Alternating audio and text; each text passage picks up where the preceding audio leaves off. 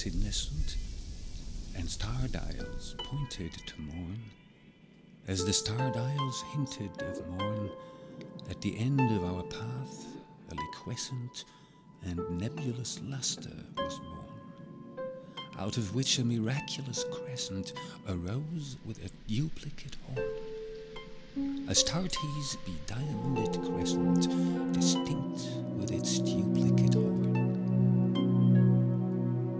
This is nothing but dreaming. Let us on by this tremulous light. Let us bathe in this crystalline light. Its sibyllic splendor is beaming with hope and in beauty tonight. See, it flickers up the sky through the night. Ah, we safely may trust to its gleaming, and be sure it will lead us aright. We safely may trust flickers up the heaven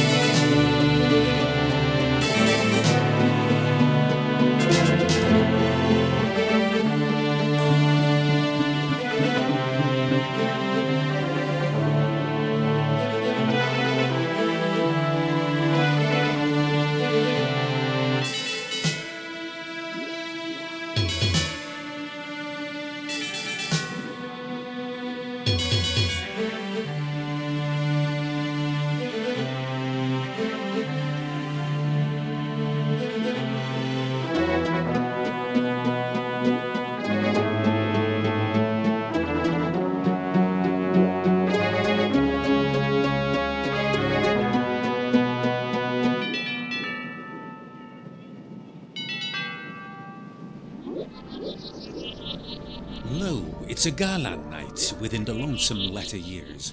An angel throng, bewinged, bedight in veils, and drowned in tears, sit in the theatre to see a play of hopes and fears, while the orchestra breathes fitfully the music of the spheres.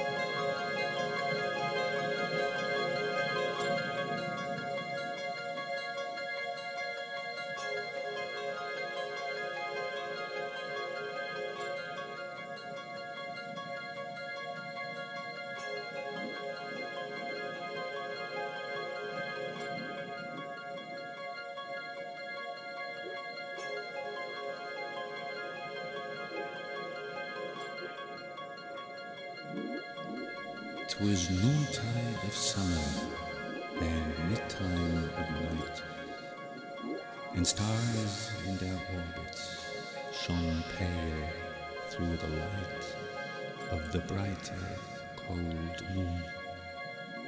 Mid planets, her slaves, herself in the heavens, her being on the waves. I gazed a while on her cold smile, too cold, too cold for me. There passed as a shroud a fleecy cloud, and I turned away to thee, proud evening star. In thy glory afar, and dearer thy For joy to my heart is the proud part. Thou bearest in heaven at night, and more I admire thy distant fire than that cold